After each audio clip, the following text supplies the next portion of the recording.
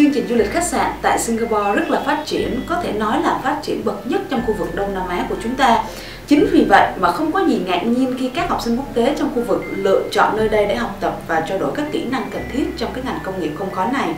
Chương trình du lịch khách sạn tại Singapore thì rất là đa dạng, từ chứng chỉ cao đẳng, cao đẳng nâng cao đại học hay là thạc sĩ.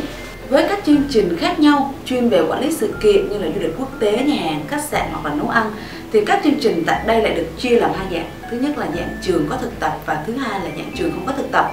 Độ dài của các khóa học thì à, có thể ngắn 3 tháng, 6 tháng, 9 tháng hoặc là một năm là chúng ta đã hoàn thành một cái chương trình mà chúng ta mong muốn.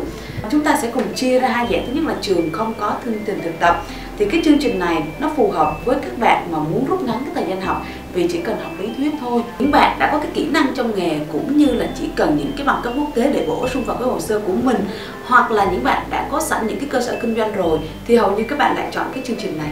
Vậy thì Sa giới thiệu một cái học viện mà rất là nhiều bạn à, lựa chọn theo học bởi vì chương trình ở đây không có chương trình thực tập và thời gian học ngắn rồi đúng không? Và mình cũng xin bổ sung thêm một chút xíu đó là mặc dù trường không có chương trình thực tập, nhưng trong quá trình học thì các bạn vẫn được thực hành nên các bạn cũng đừng lo ngại rằng mình học lý thuyết xuống như vậy thì không biết là mình áp dụng thực tế như thế nào nhé.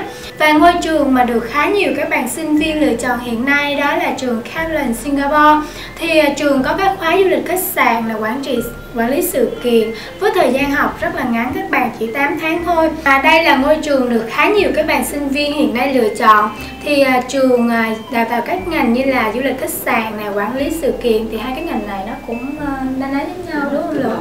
Ừ, thì thời gian học cho cái khóa học này là 8 tháng và các học các bạn sẽ được học 8 môn trong cái thời gian này. Và với mức học phí thì chỉ với 11.556 đô la Singapore mà thôi. Và sau 8 tháng với tấm bằng cao đẳng này thì các bạn cũng thể dễ dàng là à, xin việc ở Singapore hoặc là về Việt Nam hoặc là như Lưu nói lúc nãy. Thì nếu như mình có cái cơ sở kinh doanh thì mình là tiếp tục và mình có cái um, kiến thức rồi. ừ, thì mình về mình có thể là dễ dàng quản lý cái công việc của mình.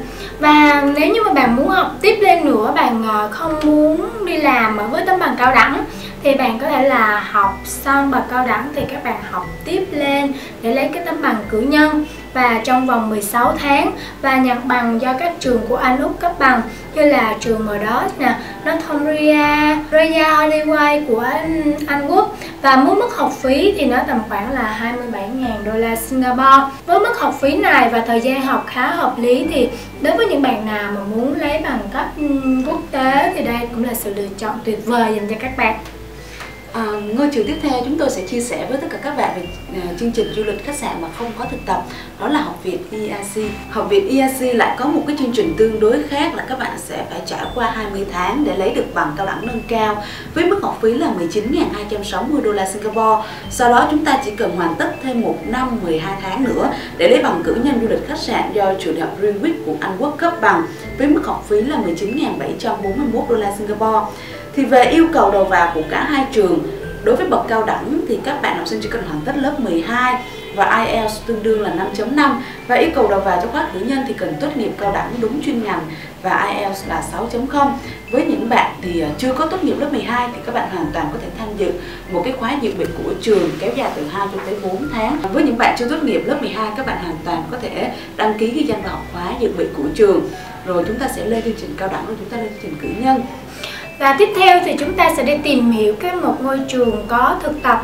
Thì với nhóm trường này thì à, đầu tiên phải kể đến đó là học viện quản lý Nam Giang thì à, chương trình học thì vô cùng linh hoạt. Các bạn sẽ học trong vòng 6 tháng lý thuyết, sau đó các bạn sẽ được đi thực tập 6 tháng. Với mức lương thực tập thì sẽ dao động từ 800 cho đến 1.000 đô la Singapore một tháng. Và mức học phí cho chương trình khóa cao đẳng này sẽ là 12.572 đô la Singapore. Ừ, chương trình thực tập hưởng lương thì do nhà trường hỗ trợ các bạn tìm nơi thực tập. Các bạn không phải lo lắng như ở Việt Nam là sau khi học xong mình sẽ thực tập ở đâu đây và mình liệu mình có được nhận lương hay không. Thì ở đây sau khi học xong, trường đã bố trí sẵn cho các bạn rồi. Thì sẽ có những danh sách các khách sạn đó thì các bạn sẽ được trường bố trí đi thực tập, nên là các bạn cũng an tâm nha. Và sau khi hoàn thành trong chương trình cao đẳng, nếu mà bạn muốn chuyển tiếp lên chương trình cử nhân thì bạn sẽ theo lộ trình nào?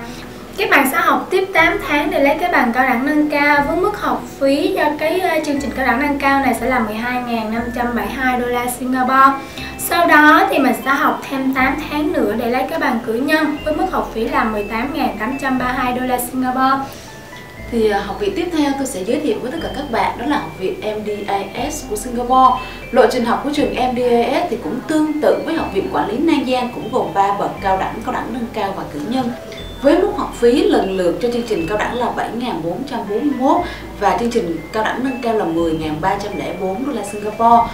Và lên chương trình cử nhân, chúng ta sẽ tốn khoảng cỡ 20.035 đô la Singapore. Thì cử nhân các bạn sẽ được nhận bằng do trường đại học University of Sunderland UK cấp bằng.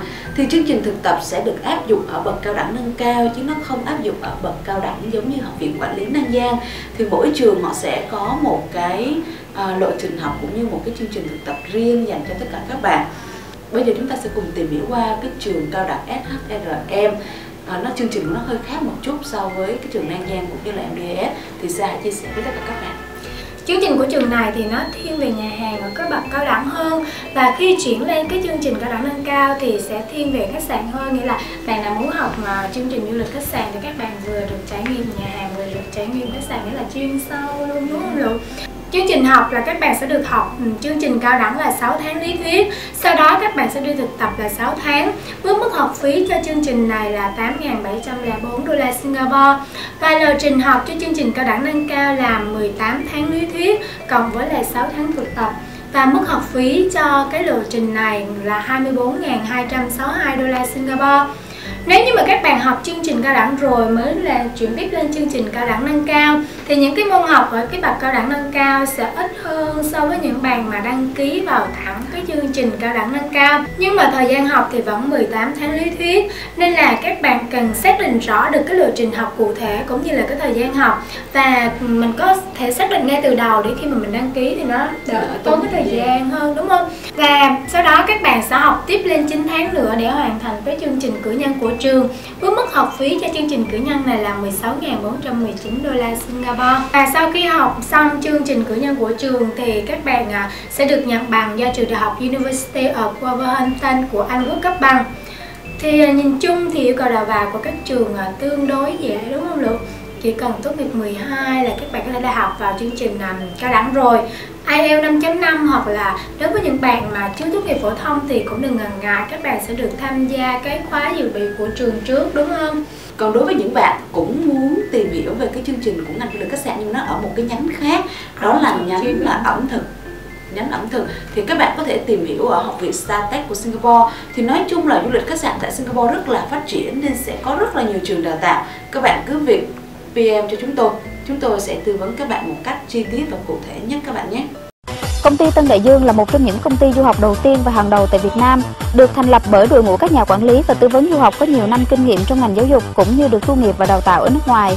Với hơn 10 năm kinh nghiệm, Tân Đại Dương tự hào là nhà tư vấn du học chuyên nghiệp cho các du học sinh tại các nước trên thế giới, đặc biệt là Mỹ, Úc, Singapore, Anh Quốc, Hà Lan, Thụy Sĩ, vân vân. Cùng với đội ngũ tư vấn viên chuyên nghiệp, chúng tôi cung cấp các dịch vụ uy tín và trọn gói cho ngành du học du lịch Mỹ, bao gồm xử lý trọn bộ hồ sơ đi Mỹ từ A đến Z, kể cả các hồ sơ khó đã từng rớt visa hoặc không đủ tài chính. Tư vấn chọn trường tại tất cả các tiểu bang ở Mỹ. Chúng tôi tự hào là đại diện chính thức của hàng trăm trường đại học cao đẳng, trung học phổ thông tại Mỹ. Hướng dẫn các thủ tục xin visa, chứng minh tài chính, hướng dẫn điền form, dạy phỏng vấn du học du lịch Mỹ. Khai giảng hàng tháng các lớp học phỏng vấn, đảm bảo cho học sinh có được sự tự tin trả lời được mọi câu hỏi của lãnh sự quán đặt vé máy bay, sắp xếp nhà ở, ký túc xá cho du học sinh. Với phương châm hoạt động là uy tín, chất lượng và mong muốn định hướng cho học sinh Việt Nam một nền giáo dục tiên tiến, môi trường học tập và sinh hoạt an toàn, Tân Đại Dương cam kết sẽ là người bạn đồng hành cùng học sinh Việt Nam trên đường tới chân trời tri thức. Mọi chi tiết xin liên hệ công ty Tân Đại Dương chuyên du học Mỹ, mặt tiền 148 1 Trần Quang Khải, phường Tân Định, quận Nhất, thành phố Hồ Chí Minh, điện thoại 08 3848 4879 0989 006 890, website www.tandaiduong.edu.vn.